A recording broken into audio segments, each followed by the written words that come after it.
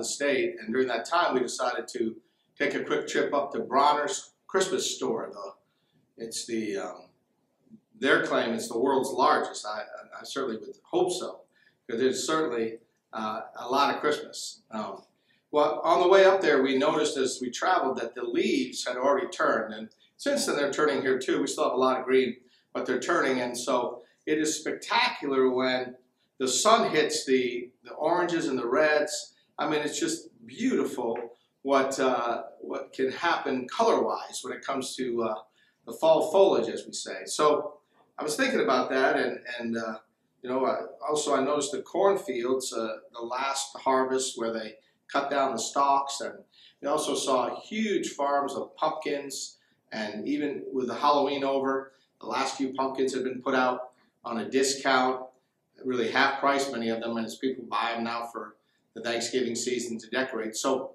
I'm not a big Halloween fan, you know, uh, to each to each their own. We don't make a big deal about it as a family. Um, but I mean, our grandkids, they do their thing. But uh, we do love the harvest season. And so if you watch what happens, uh, the season kind of morphs into Halloween and then morphs into more of a Thanksgiving bounty harvest mentality.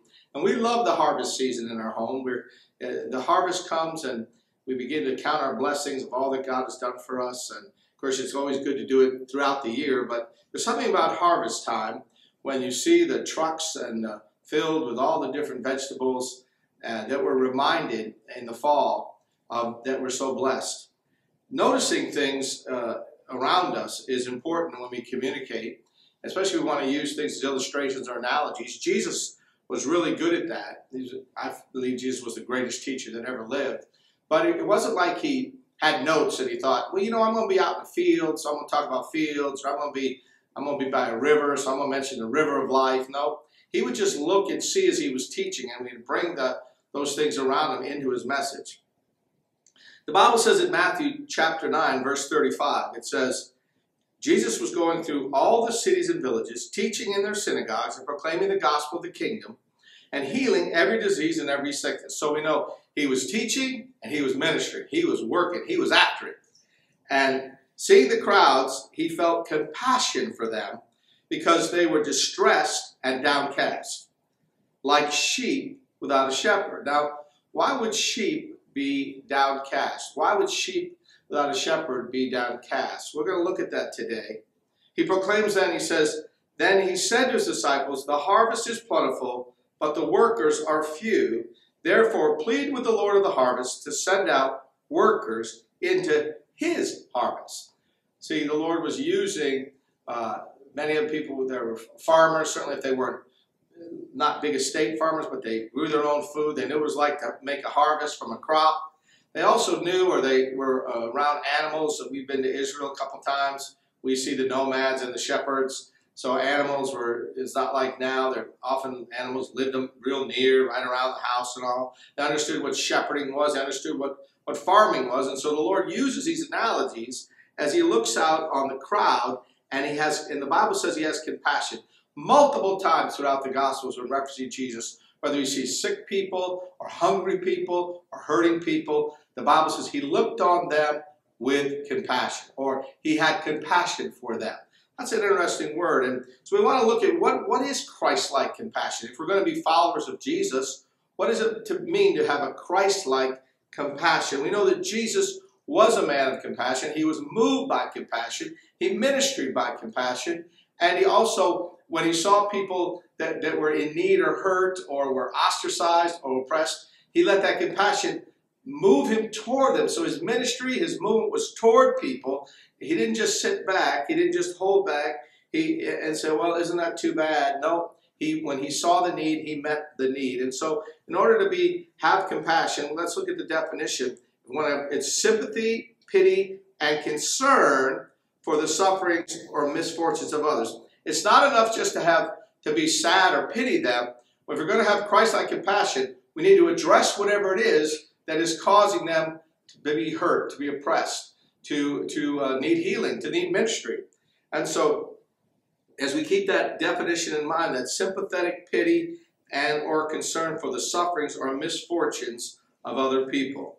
Christ had compassion for the harassed, the helpless, the distressed, and the dispirited. And you can add any synonyms that you would like to that. He, he, he was not, he didn't just surround himself with the quarterbacks and the cheerleaders and the successful people, even though he was able to speak their language too.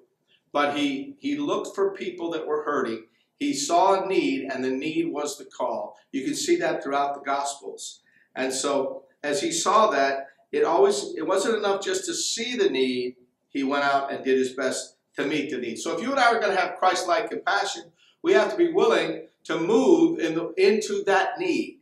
And when we do that, sometimes you know we go into the place. It's not always the best. It's not always the. It's not always the cleanest. It's not always the nicest. We get our we get our feelings involved. We get our hands dirty. We get our we get our heart. We get we can have our heart hurt. Uh, there could be some pain involved when you minister. But if we're going to get down and be involved with people who are hurting, then we have to be willing to get dirty, to get involved, to get close. That's what Jesus did. First, he references them as people as sheep. And, you know, we've heard uh, many times people talk about this is the Christmas season, so and I'm going to be talking about shepherds in a couple of weeks in detail and what it meant to be a shepherd. But just as a little study here, you know, the idea is uh, a sheep is not the smartest animal. I'm told by people who are experts in this field, I'm not, that they're not the smartest. And that's why uh, there's a shepherding that's involved and, and for safety purposes, uh, to be able to guide them, keep them away from uh, valleys and uh, potholes and things in life. And so uh, uh, Jesus said that sheep are, they're like sheep, meaning that they were harassed and they were helpless in one of the translations. Now think about that. They were harassed by the religious leaders of the day that was using legalism and law to oppress them in such a way that they couldn't, they didn't have the liberty uh, of, of having a healthy relationship with God. And so those, those leaders were, were uh, not helping them, they were hurting them. They're making it harder for them. And so, so here comes the Lord, and he, he sees that. He sees these, these Jewish people just on the weight of law and religion and, and uh, the Pharisees, and his heart is moved to compassion, and so he begins to minister to them. And even though he was his heart was broken, he begins to minister to them. And then and then he also note he says that I am in John 10, 11, he says, I am the good shepherd. So sheep with a good shepherd are protected. Sheep without a shepherd are unprotected. And so if we're going to have compassion and we're going to be like Christ, we need to look at people who, for whatever reason, are unprotected. In other words, they're, they're not being taken care of. They're not, their, their spiritual needs aren't being met. The primary role of the church is spiritual needs. Along the way, though, we do our best. Uh, we here we have a food pantry. Um, uh, we have uh, we've done community Christmas dinners. We we um, have a benevolence ministry. Why do we do that? We do that in a practical way to expose God's love to people, to expose our ministry, but our ultimate goal is spiritual health. The gospel, good news, is spiritual health. And no social program is, can substitute for spiritual health. What I mean by spiritual health, I mean is the new birth, the miracle of the new birth. The gospel is the good news that Jesus has come to give life and give it more abundantly. That's the shepherd, the good shepherd. And the Bible says he's so good that he's willing to lay down his life for the sheep. When it comes to ministry, there's a sacrifice to ministry. If you're going to minister and care for people, you know, you may not be asked to literally lay down your life, but you're going to be inconvenienced, I guarantee it. You get involved with hurting people, needy people, people that society has cast aside, and you are going to be inconvenienced. But it's worth it. Because if we love like Jesus, if we live like Jesus, and we have compassion like Jesus, and we can be used by Jesus to minister to hurting people. Well, if it's not enough to be a shepherd and a sheep, I believe the Lord probably saw some sheep over here, and he said, I'm the good shepherd, and he said, uh, and he's moved because he knows that they're like sheep, but he also, he recognizes that he sees people as the harvest. In other words, we go from a flock to a field. And I believe the Lord looked over him, he's looking at the sheep maybe over here, and, and he was, you know, he used that to teach the heart of a good shepherd and, and that he had compassion. And then he sees a field, and, he, and the, probably the field was ready to be, to be harvested.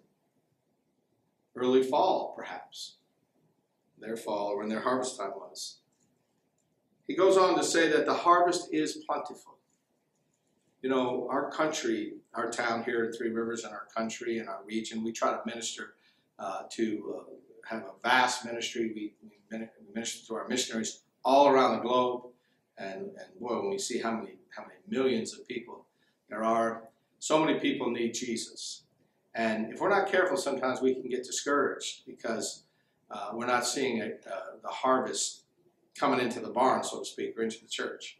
But Jesus said so many years ago, He said, the harvest is ripe. The harvest is ripe.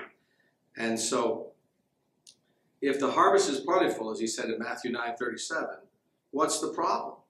Well, the first thing He said to us is, we need to pray that we have a heart of compassion. He didn't say that I'm, I'm all about witnessing.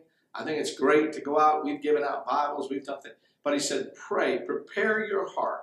Pray for a heart of compassion. Harvest hearts, I call them.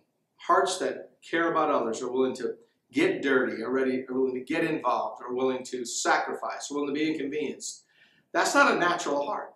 In other words, when, when we come into the kingdom, yes, we become new creatures, but it's very easy along the way to start thinking about ways we need to be ministered to, and, and we do, ways that, that the God can bless us, and He does. But we also want to make sure that we develop a harvest heart, or a heart for the harvest, meaning that we see opportunities at the workplace, at the ball field, at the high school, at the shopping mall, if we still have shopping malls, but within our lives, that we see people, unchurched people, not, not as just wicked, evil, dirty, rotten people, the way some, some have described them, but we see them as ready to be harvested. In other words, they're ready to hear the good news of Jesus. They're ready to hear my testimony and yours about what Christ has done for us. And so they're ripe for the harvest. They're ready to be harvested. But we got to pray. Our hearts have to be right.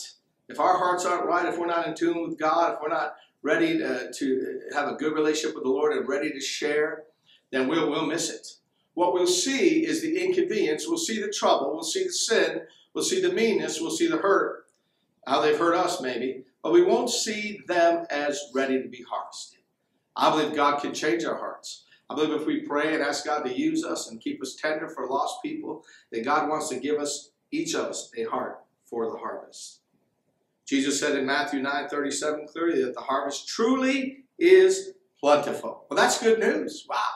I mean, that great if you had an apple tree and you looked out and there was a bunch of apples on it, or you had a field of pumpkins and it was packed with pumpkins. You'd see, you'd say, wow, fantastic. But there's a problem. In the next sentence, he says what the problem is. He says, but laborers are few. And then he says, pray to the Lord of the harvest. Pray then well, actually, uh, the NSAB says, plead with the Lord of the harvest to send out workers in the field. What are we saying? We're saying that we need people who have a heart for the harvest. If you have a heart for the harvest, you'll head to the field. I mean, that's not the issue. But if our heart's not for the harvest, if our heart's for uh, just our own our own uh, life and our own uh, family and situations, and we can miss the harvest. Instead, the Lord knows that the harvest is ready. It's ripe. It's time. And I believe God, here at New Hope Assembly of God in Three Rivers, Michigan, and in all the full gospel churches around the world, that our world is hurting. People are suffering. People are oppressed. The harvest is ripe. It's plentiful. There's people they, they don't they don't know how to receive Christ. They don't understand how much God loves them. Maybe they think they've gone too far, done too much, been too sinful. But we know that's not true. We know that if they if they will confess their sins, if they'll believe in their heart that Jesus is who he said he was and put their faith in God as their Lord and Savior, that their sins, though as scarlet, can be made white as snow. You know how I know that? Because that's what Jesus did in my life. And if you're a believer, that's what he's done in your life too. I'm grateful for the blessings, and I think we should count our blessings at, at the harvest time. I think Thanksgiving is a time where certainly we, we my goodness, if you, if you can't count your blessings with all the Thanksgiving uh, movies and posters and emails and talk about that, then you're not, never going to do it. However, as we're counting our blessings, that should make us, and we're thankful for what God's done in our life, that should make us be like Jesus and be moved to compassion. See those people who have yet to make Jesus Christ as their Lord and Savior. We need to do that. A church that does that, that cares and prays and prays and works and then and then notice as you're praying for people to get involved in the harvest, know that God might want to use you in ways that you've never been used before. Harvest hearts have always been needed. All the way back to Jesus' time, all the way through my years of ministry, we've always needed more workers, more volunteers, more people to care, more people to share. I believe that's always going to be that way. Our job is to pray that our hearts are right and then pray that God would move on the hearts of others to go into the harvest field. We have to beware of, of procrastination. I almost said a word. That would have been funny. Procrastination. That's a word that, of course, we know what that means of putting stuff off, putting stuff off. And the Lord gives us a warning there. He says, John in John chapter 4, verse 35, do not say there's still four months, and then comes the harvest. Behold, I say to you, lift up your eyes and look on the field, for they're already white for harvest. Hallelujah. They're ready. Now's the time. Now's the time to share. Now's the time to care. Now's the time to show God's love and compassion. Not say, well, when I when I you know do a little better, when I have a little more money, when I no no no no no no. If you get the heart right, don't worry about the tools. If our heart's right, God will give us a Holy Spirit will help us be creative. We'll have ways to communicate God's love and our story of what Christ has meant meant to us. God, if as long as we want to do it, if it's our heart to do it, God will show us how. Holy Spirit will give us innovative ways, maybe that have never been done before. But don't give up on people. Stay positive. Keep the faith. Don't that person you've been praying for, or that area of your maybe where you work or go to school. Don't give up. Keep praying. Keep asking God to help you. Keep loving people. Keep caring. Don't see them as just lost losers. See them as a ripe white harvest, ready, ready to be harvested. So, what lessons do we learn from this message today? I haven't kept you long, and I just want you to grab a hold of this and really sink your teeth into this. You and I, we need to make sure that we've developed a heart for lost people. I think in the church world sometimes if we're not careful, and I'm glad for every ministry, every ministry that strengthens people, encourages Christians, helps discourage uh, believers. We need to do all those things. Conflict resolution, all those things are so powerful and important, but we should make sure that we ask God to develop us and maintain a heart for the harvest. I want to be known as a soul winner. I want to be telling people about Jesus. I don't just want to come to church and learn stuff and, and maybe grow, grow, grow my uh, information about the Bible. All those things are good, but that's not enough. I want to, I want to lead people. I want to win people to Christ. I want to share my faith just out of my natural conversation because I have a heart for the harvest. We also then need to pray to see the harvest. What I mean by that is, in our busy world, we can get so caught up that it's not that we don't care, it's just that we don't see it. We're so packed in our schedules and in our in our daily schedules and in, plan out our weeks. And certainly during the holiday season, my goodness, so many things can be stacked in that we we don't even see it. We just see the crowd and the noise and the traffic. And wait a minute, wait a minute. That's the harvest.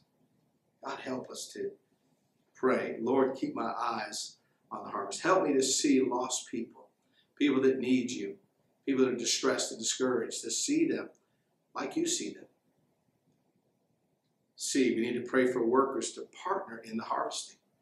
I believe if you're, whatever church you're going to, if you're going to a folk, you need workers. And so we need workers. We pray a lot that people would, you know, we, we don't try to grow our church from other churches, but we do ask God to send us workers from, from within our group, but also people that come into our fellowship that, that will help us with the harvesting. That's what Jesus said to do. He said, pray. I, I read it to you earlier. He said, pray or plead in, in one version. That's so powerful. You're pleading with the Lord to, to, of the harvest to send out workers into his harvest, meaning that, that our family here and your church family, if you go to a different church, would then have the workers they need to have a great harvest. We need to pray that people's hearts will turn. We want to lead the way by example, too, by the way, but also we, we want to pray for others. We need to be workers if we're going to pray for workers. And then seek to celebrate. Luke 15, 10 says, Likewise I say to you, there is joy in the presence of the angels of God over one sinner who repents. You know, just think of it like a tree, you know. if you're harvesting apple, you get one apple, pop. Well, normally I've done that at Apple Farm. We don't go, yay, look at it. We just put it in the bag and grab another one. But the Bible says that if you just can influence one, some of us don't take on a task or a message like this because we think, wow, I can't. No, no, no. Just think of one. One apple. One orange. Harvest one. You may not have an impact where you're filling baskets and baskets, but one at a time. Who's God laid on your heart when it comes to harvest? Who's God laid on your heart when it comes to leading someone to Jesus? If the Bible says there's joy in the presence of angels, then it'll be joy in our presence when we lead. Could you imagine sharing your story about what Jesus did for you this holiday season? Why are you, what do you got to be thankful for? Somebody asks you. Well, I'll tell you what I got to thank for. I've given my life to Jesus Christ, and He has cleansed me, washed me, and I've never had the peace like I have now. Boom, there you go. How about that, huh? That's a great thing right there. You don't have to have, be a Bible uh, scholar. Share your story. I, I implore you, share your story. And you watch, and but you got to live it. You can't be an old sourpuss, a lemon, someone that goes sucking on lemons and tell somebody you're a Christian. Why would anybody want that? No. If you will have the joy of the Lord, and then you can celebrate when you influence somebody through your story about what Christ has done for you. That can happen this season. What a great gift that would be to you and me if we could lead somebody show somebody the way to the cross and have them accept Jesus Christ as Lord and Savior. Let's seek to celebrate this year. Because a harvesting heart, listen to me. I don't know, I don't know, people who are ministering are happy people. But people that are deliriously happy or when somebody they love or somebody they know or maybe somebody they recently met, but that they influence somebody with their life to live for Jesus Christ. That's the high, I mean, that's that's second only to, only you accepting Jesus Christ yourself is to influence somebody for the kingdom of God. Develop a heart for the lost. Pray to see the harvest and not just be so filled with your schedule. Pray for workers to come in and partner with us in harvesting. Celebrate it as for every apple, every every potato. I mean, one at a time. We don't have to have a crowd. COVID has kept us certainly from the crowds we once had, but each person celebrate and, and have that harvesting heart. And I believe you're going to have, and when you get to a place where your, your greatest joy, the thing you're most thankful for, is that you led someone else to the Lord, you'll never go back. You'll, you'll want to do it again and again and again. Let's be like Jesus. Let's have compassion on hurting people, lost people, people that have been uh, oppressed, or have been outcast, people that are are uh, you know helpless, dispirited. God gives us a heart for them. I don't want to get so caught up in the bells and the whistles and the wrapping and the packages and the carols and the, and the Thanksgiving turkey that I miss out. That God's placed me here for people. You know what Barna tells us? I'll close with this and then we'll pray. This this season, people are more open to discussing what we're talking about Jesus Christ, the way, the truth, and the life than any other time of the year. How about you add your story to his story and share it? Get in on the harvest. Let's have a heart for harvest. Let's pray. Father in heaven, give us a heart for the harvest, I pray, God. Help us, God, to always be looking for ways to increase your kingdom, God. Lord, forgive us for times that we've had our head in the sand or we it's not that we didn't know, maybe that we didn't care, Lord. It's just that we didn't, we weren't looking right. So help us to keep our eyes open, to see the fields, to see the sheep, God, and to want to be a shepherd like you, and to be a harvester like you, God. Give us workers, I pray. Give every church, every person here, God, it, speak to our hearts about being part of the harvesting process, I pray. May it start in our hearts. We thank you for it by faith in Jesus' name. Amen. God bless you. God loves you, and so do I.